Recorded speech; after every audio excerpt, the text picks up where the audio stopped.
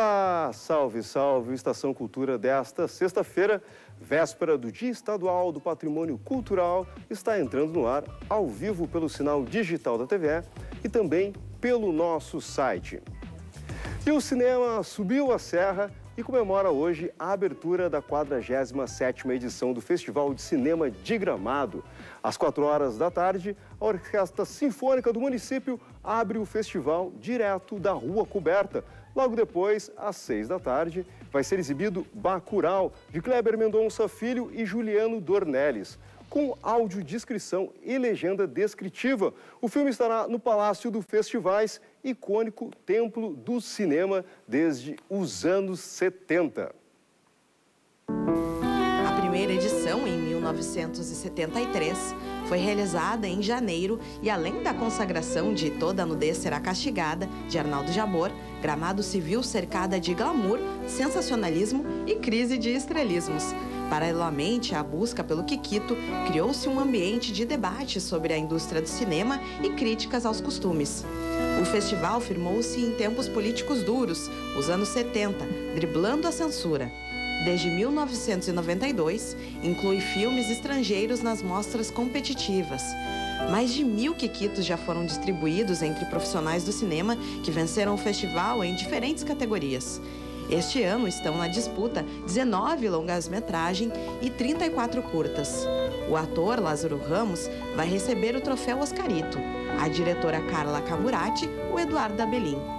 O Kikito de Cristal será entregue para o ator argentino Leonardo Esbaraglia e o troféu Cidade de Gramado para Maurício de Souza. E a mostra competitiva começa às 15 para as 9, também lá no Palácio dos Festivais. O primeiro filme é um curta brasileiro.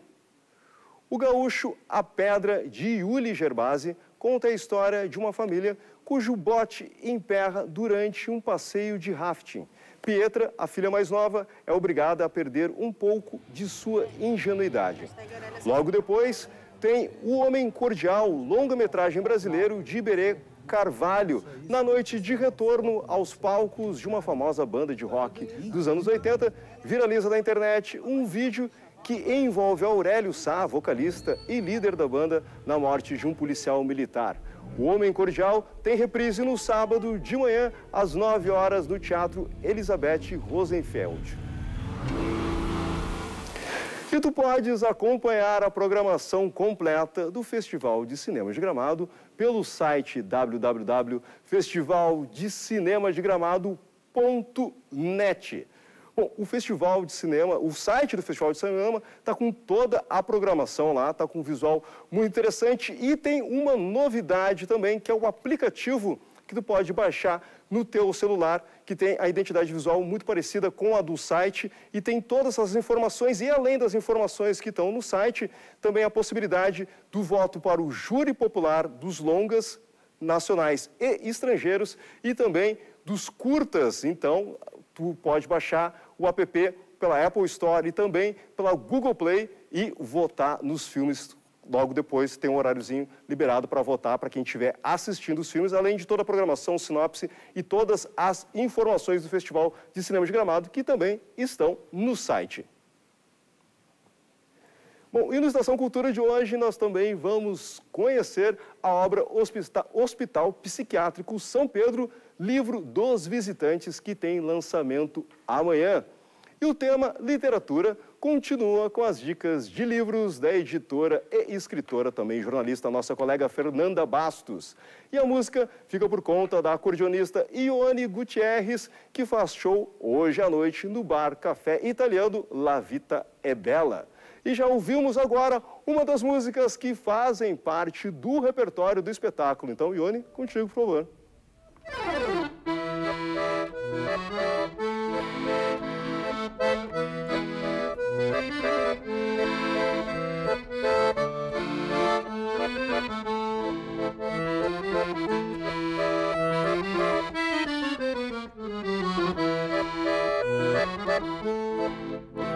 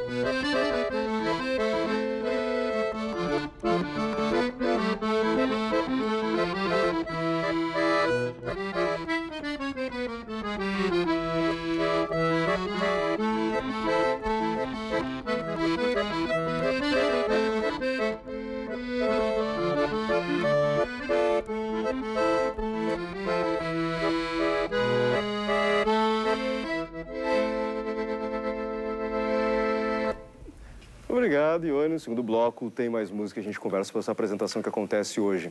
Bom, há 135 anos atrás era inaugurado o Hospital Psiquiátrico São Pedro, o primeiro do Rio Grande do Sul voltado ao atendimento de pacientes com questões de saúde mental. Amanhã acontece o lançamento de uma obra que resgata um pouco da história dessa instituição. Eu converso agora com a pedagoga Andréa Medeiros Bonou, presidente da Associação Amigos da Memória do Hospital São Pedro, uma das autoras de Hospital Psiquiátrico São Pedro, livro dos visitantes. Seja bem-vindo à Estação Cultura, tudo bem? Aqui em minhas mãos, o livro que resgata também a história da associação, né? Um trabalho que vocês têm feito nesses últimos 15 anos, agora quase completando 16, né? Exatamente. É, a ideia do livro foi fazer o registro das nossas atividades nesses 15 anos de, de, desde que a, funda, que a, nossa associação foi criada. Nossa associação ela é feita só por voluntários, foi, nós tivemos 26 uh, membros fundadores e a gente não imaginava assim, o, o que vinha pela frente. Né? É uma organização não governamental, nós não temos nenhum patrocínio e para comemorar esses 15 anos, nós com, fizemos esse livro, que principalmente através de imagens e com quatro textos âncoras, nós uh, resgatamos um pouco da história do hospital, um pouco da nossa história, uh, damos um, uma visão do, do, do, estado em que se encontra o prédio centenário. Exatamente, essa é a porta do hospital.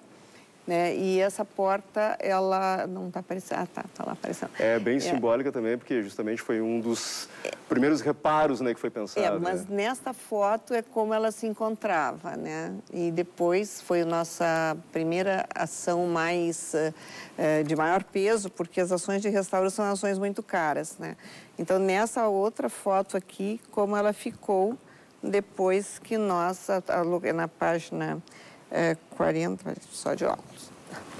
Mas enfim, é só vai falando que é, eu Na vou, página vou 44 é, tem como nós deixamos a porta, não é? é? depois da restauração.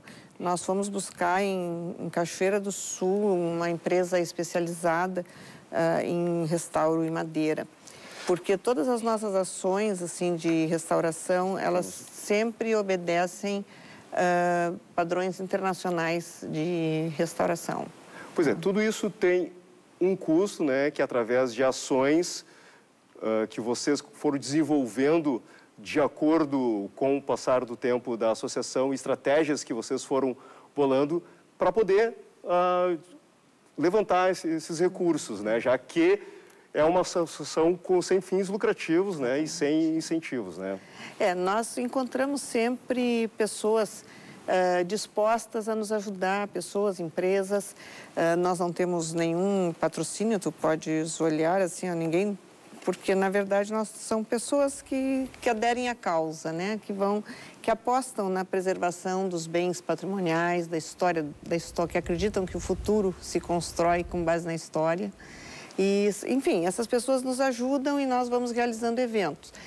E tem também a finalidade, esse livro que a gente chama livro de visitantes, não é? Ele tem também a proposta de mostrar para a nossa comunidade porto-alegrense, comunidade do Estado, uh, o que, que, como é que é o hospital, como é que ele está, em que estado ele se encontra, porque as pessoas nos ajudam, mas curiosamente a maioria nunca entrou no hospital, não conhece o hospital e adere a uma causa sem conhecer exatamente o que está fazendo, mas adere, aposta na nossa proposta.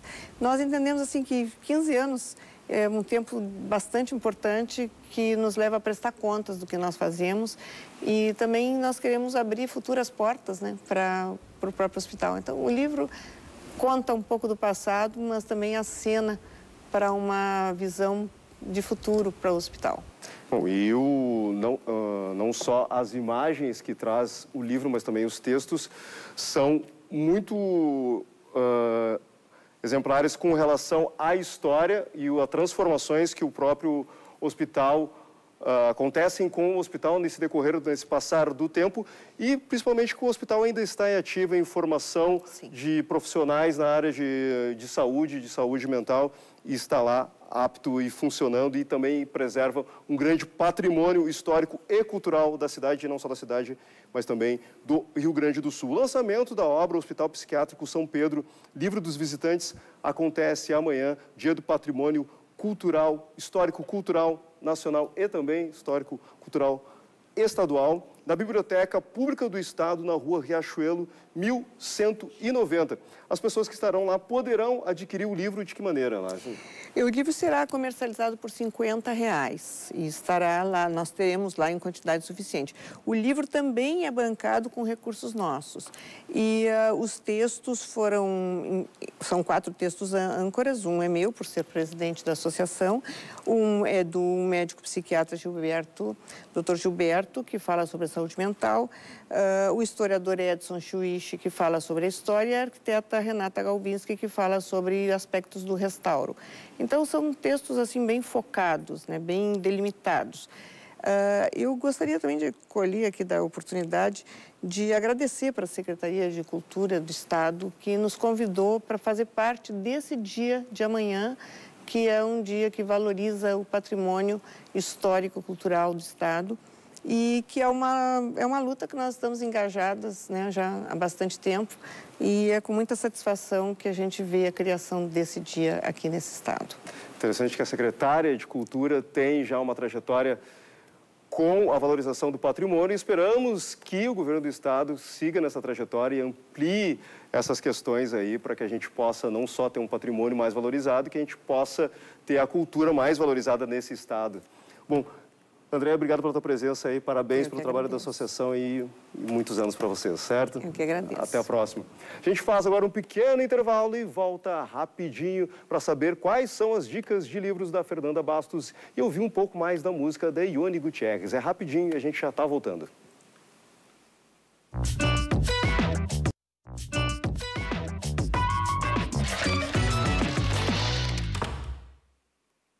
Estamos de volta com a Estação Cultura desta sexta-feira para continuar falando sobre literatura com as dicas de livros da jornalista, poeta, editora, nossa colega aqui também da TV é e também da FM Cultura 107.7, Fernanda Bastos. Tudo bem, Fernandinha? Tudo bom, Domício. Boa tarde a todos. Então, a gente hoje traz duas dicas, né, que são bem é, diferentes. A gente tem é, um livro teórico, né, que é o da Grada Quilomba, Memórias da Plantação.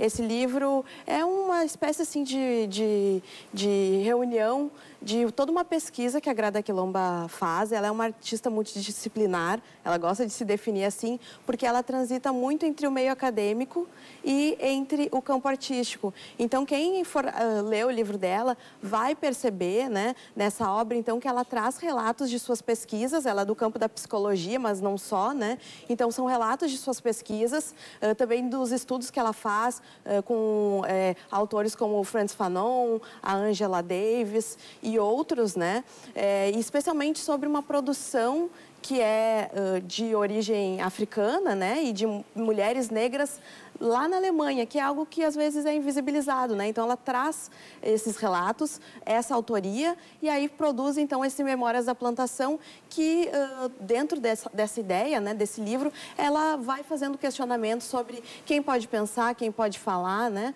numa linhagem bem uh, do que se chama de estudos pós-coloniais, né? Também é muito forte a marcação aí nessa pesquisa dela sobre questões de gênero, então, é um livro bem denso, mas ao mesmo tempo ele é acessível, né? Embora a temática, né, todos esses traumas que ela vai trazer, ela vai trabalhar muito com a ideia de trauma, né? Desse trauma da escravização, depois do racismo cotidiano. Ele é denso, mas ele é acessível. Então, ela consegue, justamente por ter essa facilidade por caminhar entre os campos e trabalhar muito a linguagem, né?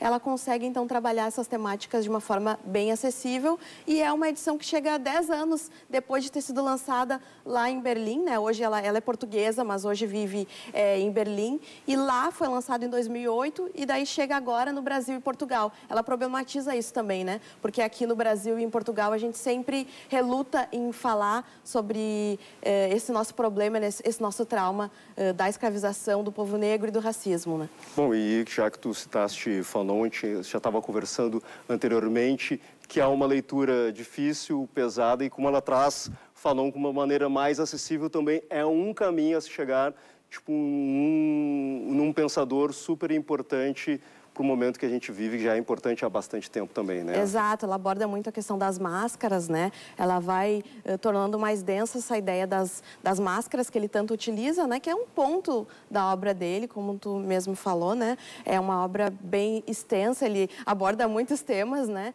E a Grada tem um pouco, né? Caminha nessa linhagem do Fanon também. Ela vai trazendo muitos temas e ela vai apresentando, né? E uh, ela consegue uh, nos envolver, então, nessa reflexão dela é difícil sair do livro, assim. É um livro muito impactante.